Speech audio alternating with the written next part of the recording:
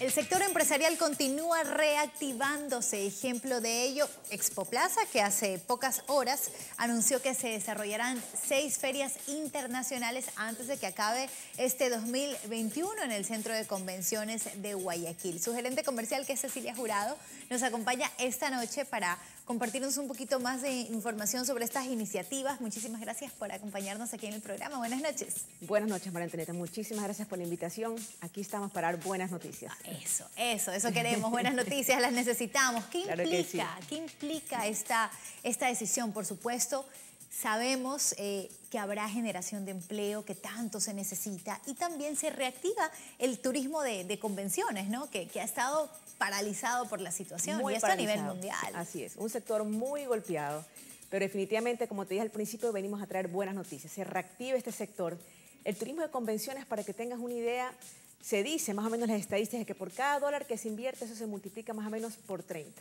Wow. O sea, se reactiva realmente en todo el sentido. Imagínate, transporte, gastronomía, hotelería. Hotelería, que está tan golpeada también. Sumamente golpeada. La verdad es que la industria de eventos eh, fue muy golpeada por la pandemia. Es, un, es una cadena productiva muy grande. Imagínate, como te decía, hotelería, transporte, gastronomía. Cuando se dan las ferias, la cantidad de proveedores que están involucrados, agencias, medios, imprentas, familias enteras cuando construyen stands, carpinterías, o sea, es una cadena productiva súper grande. Qué bueno. Se vienen seis ferias. La primera, la primera, amigos televidentes, es la feria eh, muy conocida, que es la de Habitat. Esta se realizará del 25 al 29 de agosto. Habrá dos en septiembre, habrá dos en octubre y habrá una en noviembre. ¿Cuáles son estas? ¿Qué más se viene?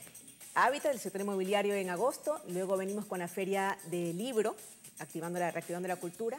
Luego la feria automotriz, que es Autoshow, tan conocida, tiene como 28 años. Todas estas que tuvieron que reinventarse y el año pasado se realizaron de manera virtual. Se hicieron unas cuantas de manera virtual, pero definitivamente lo presencial, mira... No, sí, no es lo mismo, no es lo Yo mismo. te podría decir que tengo casi las ferias llenas. De ahí en el mes de octubre la feria Raíces, que es la feria gastronómica. Por Dios. Así es, sí, a comer. Este, y luego en noviembre la feria de la cumbre, que estamos juntando dos sectores importantes, el sector bananero y el cacaotero. Perfecto. Así que tenemos, como tú decías, cinco ferias súper importantes. Importantísimas, definitivamente.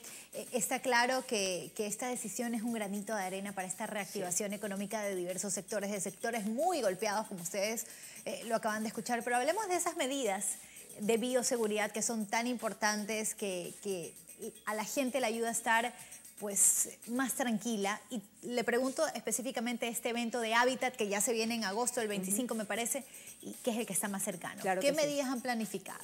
Bueno, nosotros, gracias al espacio que tenemos, no tenemos mayor problema de aforo, porque nosotros tenemos en el centro de convenciones alrededor de 20.000 metros cuadrados y el aforo se mide por los espacios. Actualmente estamos al 50%, incluso para congresos está al 90%. Yo entiendo que ahorita las cosas cambian un poco semana a semana. Claro, y eso se modifica todos los días, hay que estar atento a lo, que nos dicen las autoridades. Pero con un 50%, para que tengas una idea, yo puedo tener hasta como 3.000 personas al mismo tiempo. Entonces no tengo problemas con distanciamiento. con distanciamiento. Nosotros tenemos eh, controles de acceso, este, vamos contando a las personas que entran, que salen, alcohol. Somos un sector, el sector de eventos es un sector formal. Entonces, realmente nosotros todas las medidas de bioseguridad las tomamos muy en serio. En todos los ingresos se mide temperatura, hay alcohol en distintas partes y como te digo, el control de aforo es muy fácil para nosotros. ¿Cuál es la expectativa que ustedes tienen con este calendario de eventos que han programado? Bueno, muchísima expectativa. Realmente, como decías tú al principio, es reactivar este sector. Como te dije yo, las ferias están eh, casi llenas. Eh, hay ferias que van acompañadas de congresos, ya hay muchos inscritos. Entonces, hay mucha expectativa de reactivar la economía, reactivar estos sectores productivos que son tan importantes para el país. Como dije, te nombré cinco que son realmente motor económico de nuestro país. Así que estamos con ansias, esperando, ahora te decía sin respirar, porque viste que empezamos en agosto y terminamos en noviembre, todos los meses tenemos no, y esto Y esto vuela, porque pasa el tiempo rapidísimo, pero las personas que están interesadas, que dicen, yo quiero ir a Habitat, de pronto a ver eh, una posible casita, ya me la quiero comprar o ya puedo hacerlo.